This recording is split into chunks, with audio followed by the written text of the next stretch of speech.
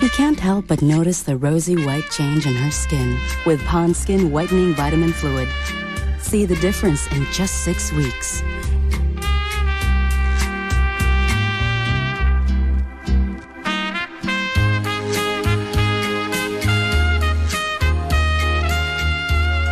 Now in cream and fluid. From Unilever.